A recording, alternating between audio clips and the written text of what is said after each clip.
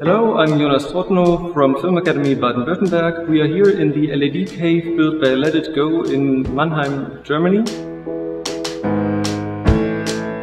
LED cave means that we are surrounded by LED screens here. The walls and even the ceiling is covered with LED screens with really high resolution.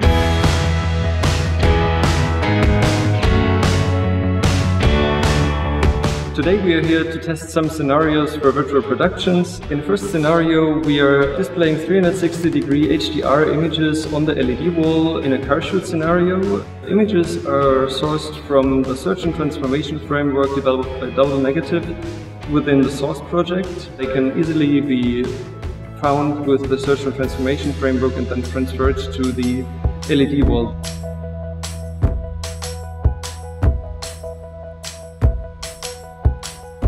In our second scenario, uh, we are rendering a Unity scene on the LED wall, and we are able to edit elements of the scene, like objects and even characters, with our virtual production editing tools called VPET that we are developing at Film Academy within the SAUCE project.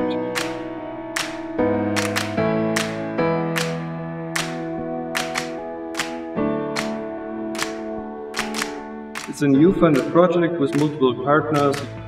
With an LED wall like this, a green screen doesn't need to be used anymore and uh, the lighting can actually be provided by the, the LED wall itself.